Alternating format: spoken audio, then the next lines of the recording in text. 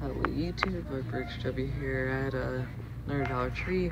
This one got some E-case in. No super, not even a surf crate to be honest. And uh, no treasure hunt even. Another uh, gas monkey, can't deny that.